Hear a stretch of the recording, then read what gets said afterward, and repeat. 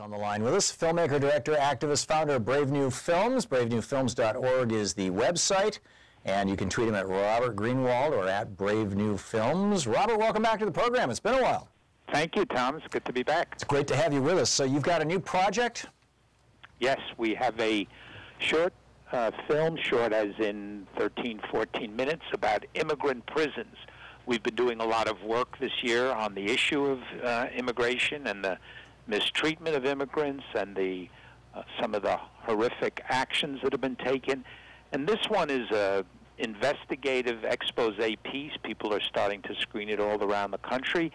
And it goes into something that many of us don't know about. There are over 200 immigrant prisons spread throughout the United States. Several hundred thousand people are being locked up who have been uh, who have not been accused or committed any kind of a crime, but it's, quote, convenient for the government to hold on to them. And the average stay is anywhere from a year upwards, and we have several personal stories in the film of immigrants who've been locked up for years and years. And then on top of it all, or as part of it all, you mix this ideology and this hatred with the profit motive. So you have CCA and Geo Group profiting from these prisons around the country. How much of this is immigration from Mexico and Central American countries versus immigration from the whole world? Well, because the uh, administration and ICE will is keeps as much information secretive as possible, it's very difficult to know many facts, that being one of them. And sometimes we get facts and they're not accurate facts. But what we do know is that it's a practice, it's something that the day after Trump was elected, the largest increase in stocks was with the private prison group CCA and Geo Group because they were responding to his election and to his commi- com- commitment to lock up more and more immigrants. I thought he was going to deport them. What's the value in, you know, if, if you've got somebody in the country and they're not supposed to be in the country, what's the value in spending, what, 100 bucks a day to put them in a jail as opposed to spending a 100 bucks once and put them on a bus? Well, um, that's an interesting question, and it depends. You can come at it from a couple of angles. One is that there are some procedures that have to be followed, even under this administration, before the actual act of deportation can take place number one. Number two, the private prison companies, and I'm not suggesting it's only a profit motive, because I think it's important to talk about ideology, policy, and profit.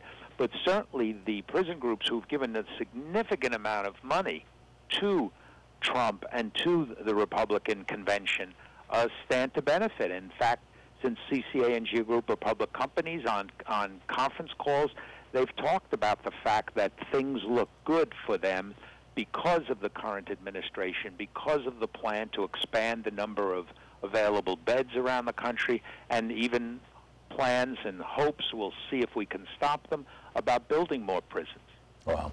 I, I remember watching uh, Michael Moore's movie, Where to Invade Next, when he went to Norway and looked at their prison system, and, I, and, and then compared that with the United States. In fact, it was the one moment in the movie where I actually had tears in my eyes.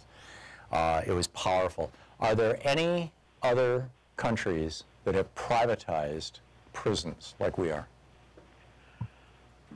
I am not certain of that. I don't think anybody, ha- if any others have done it, nobody has done it on the scale that we have. And this is not prisons, but we're also we've done a lot of work this year year on bail, and we're part of a large coalition in California uh, with the ACLU and all kinds of uh, safety and justice, all kinds of terrific groups who are going to help change the law in California.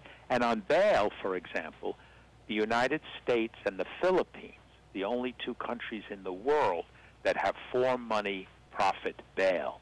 So this privatization notion, or as I prefer to call it, the introduction of the profit motive, privatization sounds a little maybe wonky, but when you say for profit, then it gives people a way to understand. Oh, these immigrant prisons are being uh, they're run by people who are focused on profit, and therefore, when, as you see in the film, there are not doctors, there are not nurses, they're locked up for longer and longer times, it makes sense if you see it from the lens of maximizing profit and supporting an ideology that's based on hatred.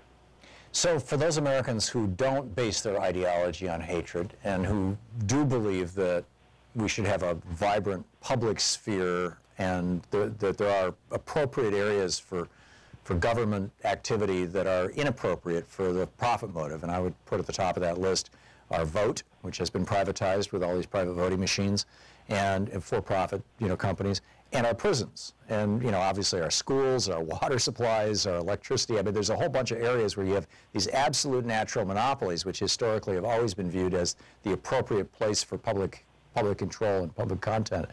Um, how can Americans who believe that this is wrong push back?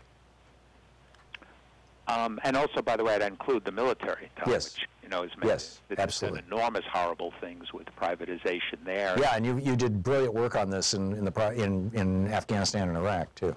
Thank you. And you've been a big help in getting the word out there. Well, pushing back, um, we are in a time now.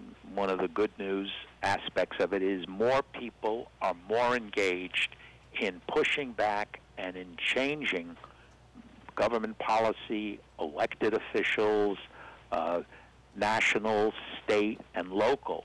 And so there are multiple ways to do it. I think the most important thing, and the film, by the way, is available at Brave New Films and it's free. Um, the most important thing is to do something. So if you are focused on the electoral process, we know there are all kinds of elections going on. If you're focused on ballot initiatives, the, there have been ballot initiatives that have pushed back on the building of private prisons and the privatizing of prisons. There's been legislation introduced, as I say, in California.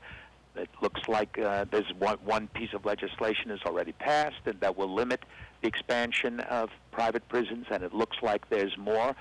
And because so much of criminal justice policy is state or local based, it does give us an opportunity to be effective, to see change, and to not wait for something to happen in Washington, D.C.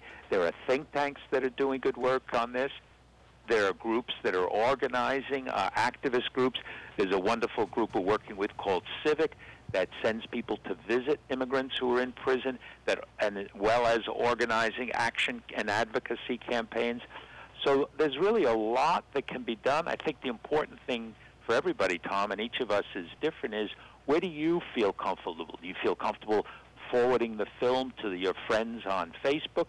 You feel comfortable going to an elected official's office and asking them to screen the film? You feel comfortable writing to your local newspaper and asking uh, to have an op-ed on the subject?